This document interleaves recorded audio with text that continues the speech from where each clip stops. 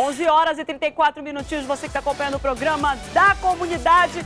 Quero só. Olha, o Walter tá no lugar certo. O Walter adora uma feira. Pensa que eu não sei, né, Walter Frota? Quero só ver se tu vai trazer uma manga madura para mim lá da Bahia. Não pode nem dizer que tu vai ter trabalho para ir buscar lá na Bahia. Tu já pode trazer daí mesmo de onde tu tá. E traz uma espiga de milho dessa daí que o Robson adora o milho cozido. Vou cozinhar com salzinho, depois eu passo aquela manteiguinha derretendo. Hum, só eu sei. Walter Frota que hoje fala lá do nosso Mercadão para conversar um pouco conosco sobre esses aumentos de itens da cesta básica. Primeiro aumentou o feijão, aumentou tomate, aumentou não sei o que, agora vai aumentar o arroz, aumentou o arroz em 12%. E o Walter Frota vai conversar conosco aqui para dizer, afinal de contas, será que diminuiu o consumo de arroz? Será que não diminuiu? Walter, quais são as notícias e as novidades que você traz pra gente aí lá da, do nosso Mercadão você que está aí do outro lado. Solta o Walter. É. Pois é, Marcinha, pois é, olha aqui, na Feira da Manaus Moderna a gente vai encontrando as pessoas aqui, vai fazendo, vai conhecendo todas as pessoas, inclusive aqui o Alci, com a esposa dele, já trabalha aqui há um bom tempo. E o carro-chefe aqui do, da banquinha aqui do Alci é o... É, goma e tapioca. Goma e tapioca. Quanto é que tá a tapioca aí, Alci? Tá 100 reais o quilo. 6 reais o quilo? Isso. Esse pacotinho tem o quê? 500 gramas? É, esse aqui no caso tem 250 gramas. 250 gramas, É, né? isso. Você faz qual é a quantidade? Quais os dois pacotes que você vende aí? Qual a quantidade? Eu tenho de 250 gramas e de meio quilo. Tá certo, assim continua. Bom trabalho pra você, tá bom? Ok, obrigado. bom dia. Ó, a gente vai aqui caminhando aqui, conhecendo as pessoas e chegando aqui na banca do seu Raimundo Alves. Sabe quanto tempo tem que o seu Raimundo Alves trabalha aqui na Manaus Moderna? Aqui nesse local, aqui nesse ponto?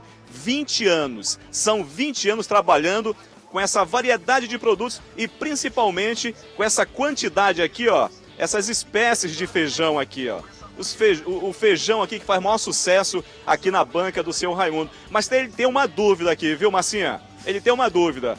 Por que, né, seu Raimundo? Que de repente, de uma hora para outra, o feijão subiu de preço, seu Raimundo. Foi uma, coisa incrível mesmo, sabe? Foi rápido mesmo. Que nós pegamos e, e coca mesmo conseguir na palavra, né? É, mas graças a Deus fomos, ficamos meio mole, mas melhorou, né? Agora é o seguinte, senhor Raimundo, para o senhor, para quem está em casa, para Marcinha Lasmar, que está aí com dúvida por que, que esses, esses itens da cesta básica tiveram essa subida assim rapidamente, eu trouxe aqui ó, o Francisco Mourão Júnior, que é economista, e vai tentar explicar de uma maneira facinho, facinho, aqui para o seu Raimundo e para você que está em casa, os motivos que levaram, por exemplo, o feijão a subir de preço, Francisco. Exatamente. Até conversando aqui com o seu Raimundo, ele vendia o quilo do feijão a seis reais, pulou agora para 13 reais, um aumento quase acima de 85%. né? Fatores climáticos, quebra de safra, realmente. E ainda a gente pode acrescentar o aumento do dólar, que influenciou também, e outra próprio custo, né? custo logístico de trazer esse produto, principalmente aqui para a região norte.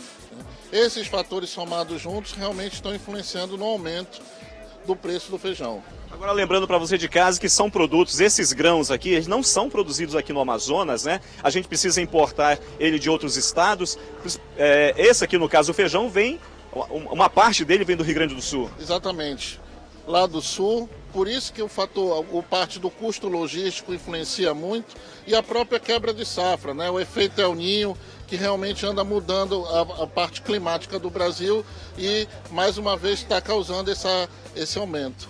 Agora, Francisco, dessas espécies aqui, qual que você gosta mais de consumir? Ah, sem dúvida, né? O feijão manteigão, né? para mim, na minha, eu gosto muito. Olha aí, Marcinha Lasmar, olha aí para você de casa, o feijão manteigão é esse aqui, ó. Quanto que ele custava, seu Raimundo? Rapaz, ele custava na faixa de do 10 reais. Custava 10 reais, agora passou a ser 13 reais. Mas olha, meu pai, deixa eu, deixa eu mostrar aqui esse aqui, né? Mostra, deixa eu mostrar aqui, seu Raimundo. Esse aqui, ó, que tá baratinho que só. Tá baratinho que só aqui, ó. 5 reais é o quilo desse aqui. Esse aqui é o popular. É o, esse é o. Como é que se chama esse aqui? É o, é o carioquinha, não? Não, esse é o. Como é que se diz, meu Deus?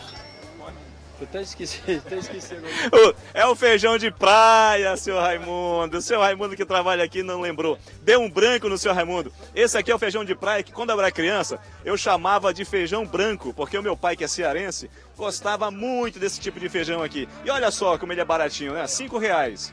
Já que você não, não tem condições ou, não, ou prefere uma opção de feijão, em vez de, de escolher esses que estão aqui com preço de 13 reais, 15 reais, você pode levar para casa aqui o feijão, o feijão de praia, que também é muito bom. Né? Feijão de praia, senhor prepara ele com o quê? Que para ficar bem gostoso, seu Raimundo. De pessoal, as, as cozinheiras sempre ela prepara um feijãozinho bem feito com. Vai que é uma beleza. É Beleza, é. Tá certo, tá certo. Ó, para você daí de casa, nós estamos aqui na Feira da Manaus Moderna, trazendo as informações sobre economia e a presença daqui do economista, o Francisco Mourão Júnior, que vem aqui nos ajudar a explicar onde esses motivos que levam esses, esses produtos que fazem parte da cesta básica, né? ter elevado aí, né, Francisco? A economia brasileira está com, uma, tá com uma, uma inflação de 7%. 7%. E a situação entre que nessa, nesse problema que nós estamos, nessa instabilidade política e econômica, até se definir como vai ficar, nós vamos continuar com um pouco dessa crise. Pois é, e para, claro, para superar a crise tem que ter criatividade, tem que pesquisar, tem que pechinchar. Mas sim, é o seguinte, daqui a pouco eu volto novamente aqui da Manaus Moderna, porque a missão que foi passada para gente tem um outro item da cesta básica envolvido, o arroz. Como é que será que está o preço do arroz aqui na Manaus Moderna, hein? Eu vou atrás, daqui a pouco eu volto com você aí. Obrigada, Walter Frota, que hoje está nessa dura missão de juntar informações para compor uma cesta básica e principalmente deixar você que tem do outro lado muito mais informada, você que é dona de casa. Então ele vai, já trouxe para a gente aqui como é que está a variação desses preços aí com relação ao feijão e os diversos tipos de feijão. Ele perguntou aqui do, do vendedor aqui, né, do feirante, como é que você gosta do feijão de praia? Eu vou dizer como eu gosto. Eu gosto do feijão de praia com muito cheiro verde, né? E antes gostava com um pouquinho, uma pedacinho de calabresa, mas não tô comendo carne ultimamente. Gosto só com cheiro verde, fica uma delícia. E comer com um peixezinho assado. Hum. Daqui a pouco ele vai trazer informações também pra gente sobre como é que tá o preço do arroz. Arroz também tá dando dor de cabeça. Lá em casa não pode faltar arroz, porque o homem lá come arroz com tudo e come arroz que só eu não gosto muito de arroz não e quando eu como eu prefiro integral. Mas lá em casa que gostam muito de arroz é uma dificuldade, viu, minha gente? Mas tem que comprar, não pode deixar faltar arroz e feijão na mesa. Arroz e feijão não podem faltar na nossa mesa. São 11 horas e 41 minutos, falou em arroz e feijão, cesta básica, vamos pra dica? Você que tem do outro lado acompanhando o programa da comunidade, vem cá que eu tenho um recado pra você, vem. Aí, nessa hora da dica que eu vou dar pra você, você fica pensando como tua perna tá cansada, trabalha o dia todo em pé, pessoal que trabalha com vendas no centro da cidade.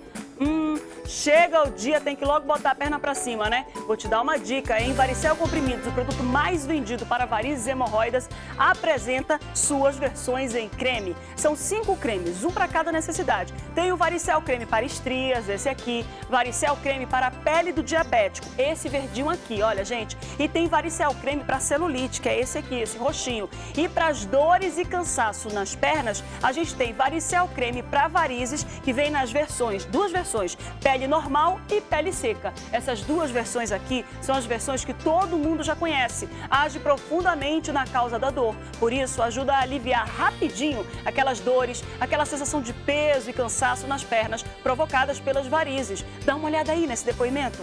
Eu sentia muitas dores nas pernas, cansaço, peso por causa das varizes. Aí, assistindo televisão, eu descobri o Varicel Creme. Resolvi passar de manhã e à noite. Agora eu me sinto muito melhor, sem dor, pernas descansadas e, além de tudo, hidrata minha pele. Varicel Creme é incrível. Viu só? Varicel Creme funciona mesmo. Varicel está à venda em todas as farmácias do Brasil, mas a preços promocionais somente nas drogarias Angélica e Forma Bem. Agora, se lhe oferecerem outro produto, não aceite. Troque de farmácia, mas não troque de produto.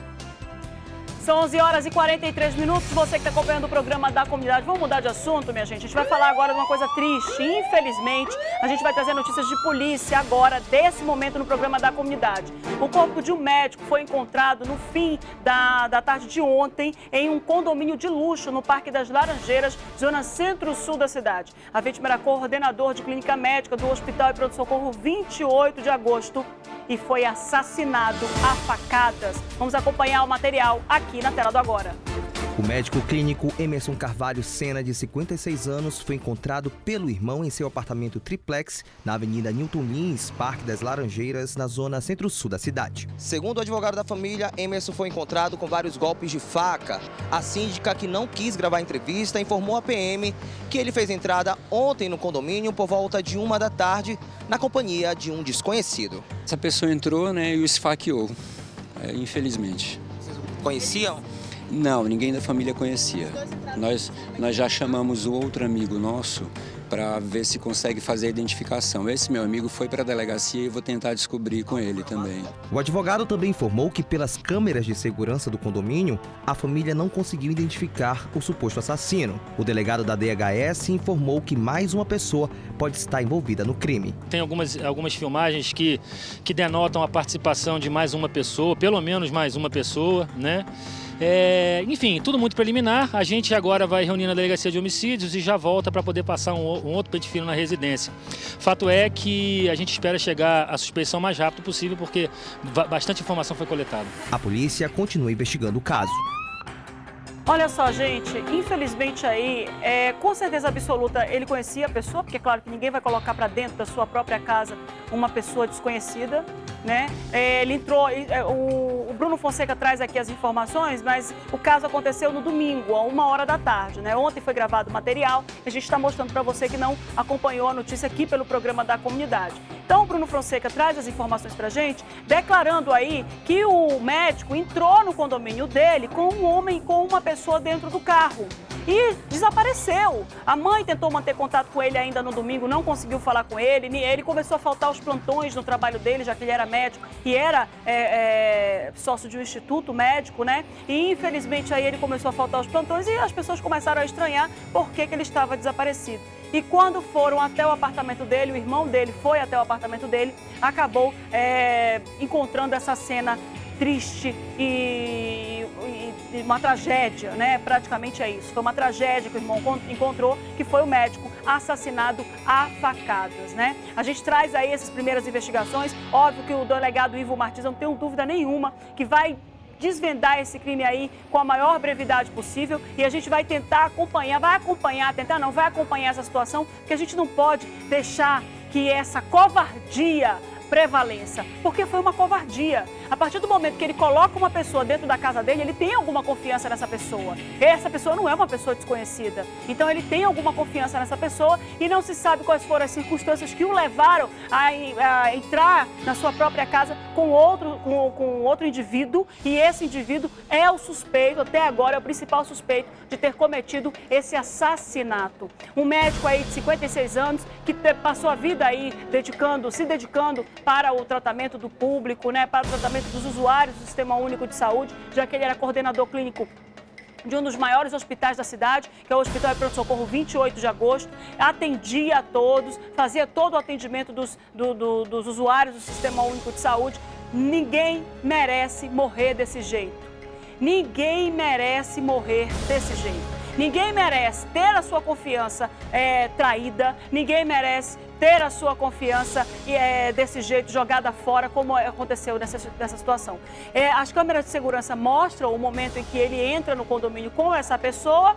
É, obviamente, o delegado Ivo Martins vai fazer ali uma retrospectiva de onde ele estava antes, quais foram os passos do médico nesse dia, no domingo, até chegar a esse momento que era uma hora da tarde, foi, que foi o horário que ele entrou no condomínio dele. É assim que a polícia investiga, minha gente. A polícia vai chegar ao caso. Eu tenho certeza absoluta que hoje em dia, com os sistemas de segurança espalhados por toda a cidade, em algum lugar esse médico esteve com essa pessoa e eu tenho certeza absoluta que é questão de tempo para o delegado Ivo Martins identificar quem foi a pessoa que entrou com ele no condomínio. E o delegado, na, na manifestação com os repórteres, já antecipa também uma outra informação. Diz que tinha uma outra pessoa, uma segunda pessoa envolvida na, no homicídio aí do, do nosso do, do, médico lá do 28 de agosto. Uma segunda pessoa. Além daquela pessoa que estava com ele dentro do carro, tem que ter uma outra pessoa, segundo as primeiras informações, parece-me que existe uma outra pessoa. Então é questão de tempo para a polícia chegar ao deslinde dessa questão, não tenho dúvida nenhuma. Infelizmente, uma tragédia, uma tragédia. É, eu que já infelizmente na minha família já passei por isso também, já tive tragédias dessa natureza que, que um parente meu, infelizmente, também já foi é, levado do, nosso convívio desse jeito, a gente fica indignado, a gente fica triste, a, a nossos sentimentos, mais profundos sentimentos aí para a família desse médico, para a mãe dele, para os irmãos, que eu tenho certeza absoluta que estão inconsoláveis, porque não tem coisa que nos deixe mais triste do que alguém roubar a vida de alguém. É um roubo né? A gente fica triste porque roubam nossas coisas, imagina matar alguém. Isso é uma tristeza que não tem fim, é uma indignação. Ninguém se conforma com a morte. Ninguém acha a morte ali uma coisa natural, apesar de ser, né? Mas quando um parente morre por uma doença, morre porque infelizmente foi um acidente, agora morrer assassinado é uma tristeza sem fim. E não tem nada que console o coração de uma família que teve um parente que morreu assassinado, a não ser Deus. A família se apega muito com Deus e conta com a justiça divina. Porque na justiça dos homens não tem limite para a gente poder chegar a, a, a, essa covardia. E infelizmente aqui no Brasil não existe, infelizmente não, né? Na minha opinião, pena de morte não tem que existir em lugar nenhum, porque só quem pode tirar a vida é Deus. Mas acho que eu sou favorável à pena de à pena perpétua. Porque tem gente que não tem condições de viver em sociedade, tem gente que é tão perigoso para si para os outros que tem que ser realmente é, levado para uma cela e ficar lá o resto da vida dele, o resto da existência dele. Então sou favorável à prisão perpétua, mas sou contra a pena de morte, só quem tira a vida é Deus. E quando a gente vê uma pessoa dessa aí matando outro ser humano, eu tenho a impressão que foi para roubar. Já, já antecipo lá pelo comportamento, pelo jeito, deve ter tentado roubar o médico, deve fazer alguma coisa, porque numa discussão o médico não vai levar uma pessoa que está se desentendendo para dentro da casa dele briga na rua e vai embora. Agora, vamos levar lá para dentro de casa para discutir lá? E por que essa discussão, né? É uma série de pontos aí que a polícia vai esclarecer, uma série de, de, de, de questões que vão ser desnichadas e vão ser respondidas no inquérito policial e a gente conta que o mais breve possível é, o delegado Ivo Martins com a equipe da Delegacia de Homicídio e Sequestro que é uma equipe competentíssima e ninguém tem dúvida disso, porque quando a gente menos espera eles desvendam um crime, quando a gente está começando a se esquecer do crime, lá vem o delegado Ivo Martins e diz, olha, apresentação do fulano que matou o cicrano lá em 2014, lá em 2015, lá em 2000 não sei o quê. E crimes que acontecem num sábado e na segunda já está preso o, o autor. Então é questão de tempo, não tenho dúvida nenhuma. Agora, notícias de morte, a gente não acaba por aqui, a gente não traz só notícias lá da Zona Centro-Sul. A gente vai lá para a zona leste da cidade, são 11 horas e 51 minutos. Um detento foi encontrado morto dentro da cela na unidade prisional do Puraquequara. Ele era membro de uma facção criminosa aqui na capital e quem vai trazer as informações, você que acompanha o programa da comunidade aqui na tela, quem vai trazer as informações é a nossa repórter Priscila Mello na tela do Agora. Priscila. Pois é, o detento Diego Fernandes de Oliveira tinha 29 anos e foi encontrado morto dentro da cela em que estava preso aqui na unidade prisional do Puraquequara. Ele foi preso pela Operação La Muralha da Polícia Federal no dia 18 de junho. Ele era suspeito de ser o gerente da facção criminosa Família do Norte. Ainda não se sabe a causa da morte, mas a delegacia especializada em homicídios e sequestros vai investigar o caso. A SEAP informou que os 11 detentos que dividiam a cela com o Diego vão ser encaminhados a uma delegacia para prestar esclarecimentos sobre o que aconteceu e para identificar a autoria do crime. Volto com você no estúdio. Obrigada, Priscila. Os 11 são suspeitos. Na foto original, que infelizmente a gente tem que ver e tem acesso, a gente verifica que o rosto dele está muito roxo. Eu tenho a impressão que ele pode ter, ter, ter morrido por esganadura, né? Por causa da situação em que o corpo, claro, não sou perita, não sou nada, quem sou eu para dizer alguma coisa aqui, mas o corpo foi encaminhado para o Instituto Médico Legal para ser avaliada a causa da morte, para que o perito, o perito médico legal possa investigar a causa desse homicídio e os 11 presos que estavam com ele dentro da cela são suspeitos. Não se sabe como é que vai se chegar aí a autoria, a individualização dessa, dessa, dessa atitude, desse homicídio, dessa ação criminosa contra esse, esse preso da Operação La Muralha, que é Bruno, né? O nome dele, foi isso que a Priscila disse, né, diretor? Confirma para mim aí, mas a gente vê aí mais uma vez aí uma pessoa envolvida com uma facção criminosa, uma pessoa envolvida com tráfico de drogas, porque, gente, olha só, não tem outro caminho. O crime, o resultado é esse: 29 anos. A expectativa de vida de quem está no crime é de 29, 30 anos no máximo. Então a gente vê aqui mais um resultado do que é o envolvimento na criminalidade. Não tem a idade máxima Ele chegou aqui aos 29, deve estar envolvido, infelizmente, no crime desde os 15, 16, começa muito jovem, começa na adolescência. Morrer com 29 anos é morrer muito novo, né não? Né? E aí a gente diz assim, será que valeu a pena a vida dele até aí? Porque a pessoa entra no mundo do crime supostamente porque quer fazer dinheiro, né? Porque quando um, uma pessoa vira traficante, ela não está querendo só distribuir droga para o mundo. A intenção dela não é essa. A intenção é ganhar dinheiro. Ganhar dinheiro rápido, ganhar dinheiro fácil. E aí eu digo, esse dinheiro vale a pena quando você vive aí até os 29 anos de idade? Não é melhor viver com menos, viver no aperreio, vivendo ali, trabalhando, segurando dinheiro do lado, segurando dinheiro do outro e viver aí até os 50, 60, 70 anos? Sem ninguém no encalço para prender e para botar dentro de uma cela, como estava ele aqui. Né? A gente fica aqui com, com, uma filosofia que muita gente que está em casa fala, ah, isso aí é filosofia barata, né? Quem é que vai querer aí realmente viver na tranquilidade? Eu quero viver solta, nem que seja sem um centavo, mas sem me meter com crime. Porque todo o crime não compensa e afinal o final do crime é esse. Ou você vai preso ou você morre. Porque é esse o fim de quem está na criminalidade. Então, fique em casa, meu caboclo é melhor do que ir cometer crime e virar traficante. São 11 horas e 55 minutos. O que, é que vem pela frente, diretor? Segredo do cofre. Deu uma parada, né, né Carlinhos? Te enrolei todinho. Vamos lá. Segredo do cofre.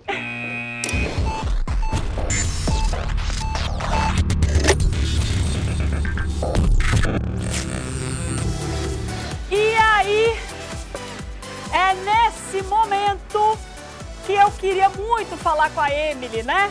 Lá do Lagoa Azul. Eita, tô toda confusa hoje com esse negócio. Vai ficar aí na frente mesmo, diretor. Deixa eu tentar virar aqui. Vamos lá. Vai virando, vai virando. Que eu tô com meu celular aqui, que meu celular tá com todas as dicas aqui.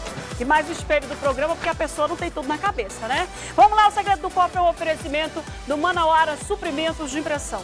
Aqui dentro desse cofre tem um notebook que você que tem do outro lado está precisando fazer aquele trabalho de conclusão de curso, está precisando fazer aqueles bicos, digitar trabalho pessoal da faculdade, porque a situação não está fácil e você tem um tempinho extra. Então você vai descobrir qual é a combinação do cofre com o oferecimento do Manauara Suprimentos de Impressão, onde você encontra cartuchos de impressora, tanto toner quanto jato de tinta, faz recarga e todos os serviços, tem pendrive, todos os serviços de informática que você precisa, celular, smartphone, computador, tudo isso você encontra lá no Manauara Suprimentos de Impressão e o telefone está aí na sua tela. Diz para mim aqui, diretor, o telefone que o ser humano não enxerga.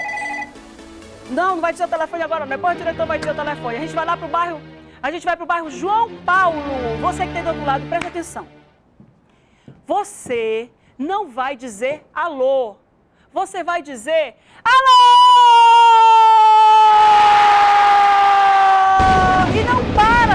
Alô até eu falar, tá bom, já chega. Oh! Entendeu? Vamos lá. Vamos lá pro João Paulo, tem gente já na linha. Atenção, hein? Alô?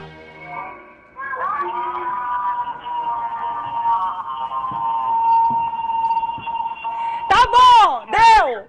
Tá ótimo. Direitinho, tu viu? Tu viu o que é a combinação? Show de bola! Diretor, até o diretor riu. É assim mesmo, minha gente. Dá um oi aí. É assim mesmo. Diretor, uma dica caprichada. São três números ímpares e um número par. Que ele já disse aqui, viu, minha gente? Não vou ficar dando muita dica, não, porque você tem que acompanhar o programa para poder descobrir o segredo. Tem que fazer igual a Luzia. Mas ele já disse que não tem o número dois. Então, diretor, Ivan Nascimento, nosso poderoso chefão magro agora. O primeiro número ímpar. Aliás, com quem é que eu tô falando aí do João Paulo mesmo, hein? A pessoa se empolga, ninguém pergunta o nome, né? Oi? Andréia. Baixa o volume do televisor. Pega o controle. Eu fazia assim, ó, né? Mas aí você pega o controle e baixa o volume do televisor. Andréia! Ah, que Caiu! peninha. Caiu! Não, fala com a Andréia de novo. Acha o telefone da Andréia. Andréia, liga de novo. Que eu já ia dar dica. Então não fala dica, né, diretor? Que a dica é pra Andréia, né? A gente vai sair lá do João Paulo, eu também enrolo tanto, e vai lá pro Grande Vitória. Já sabe como é que é que tem que atender alô, hein? Só para de dizer o alô quando eu pedir. Alô!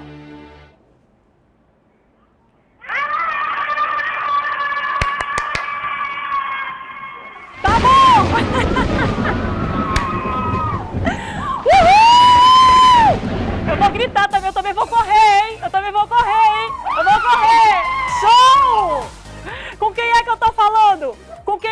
falando? E... Com Irenilce Lasmar. Irenilce Lasmar? é minha parente! Não, pera lá, que nem todo Lasmar é parente, não. Irenilce, qual é o nosso grau de parentesco? É só coincidência? Irenilce. Deve ser, não, deve ser coincidência. É coincidência, não é minha parente, Eu- não. é. Eu sou Teixeira e não sou prima da Patrícia. Teixeira. Não, senhora. Meu marido é Teixeira e não é parente da Patrícia Teixeira. Não, senhora. Iranilce vai participar, que a Iranilce tem denominação animada. Iranilce, quem tá em casa aí, Iranilce? Quem tá em casa... Minha família, minha filha, meus sobrinhos, minha mãe, minha irmã, minha neta. Todo Família. mundo! Iranilce, olha só. Lasmar, minha filha... Iranilce, a dica é a seguinte: são três números ímpares e um número par.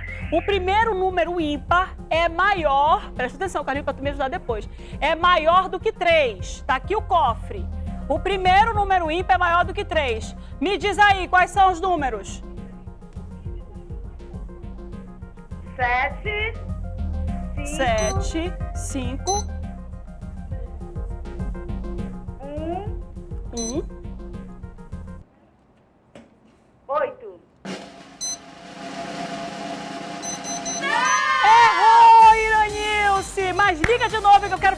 André do João Paulo. A gente vai sair lá do Nova Vitória e vai lá pro Coroado. Presta atenção! Não é qualquer alô, é aquele alô estendido. Ok!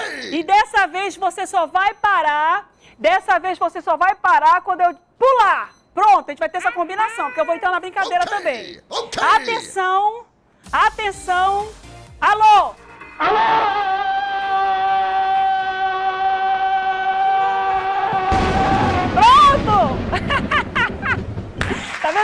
É é, pessoal?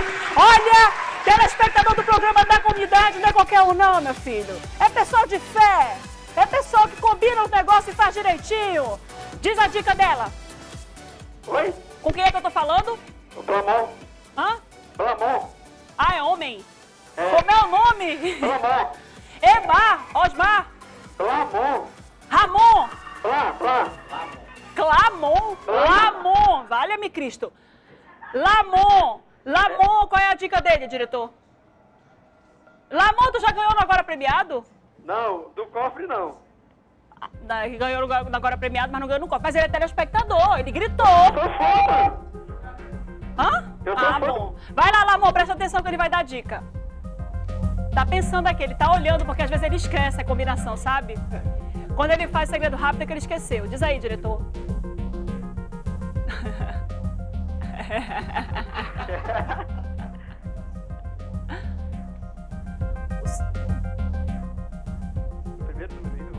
Olha, o primeiro número ímpar é maior que 3 e o segundo número ímpar, Lamon, também é maior. É Blamon. Blamon? Blá, de blá, blá, é. Blamon! Virgem minha, tu tá de sacanagem comigo. Blamon! O segundo número ímpar também é maior do que 9. Atenção, o primeiro número ímpar é maior do que 3 e o segundo número ímpar também é maior do que 3. Vai, é contigo. Ah, o, o primeiro número ímpar é maior que 3. E o segundo também. Maior que 3. Isso, vai, diz. 5, 5, 7, 7, é, 1, 4.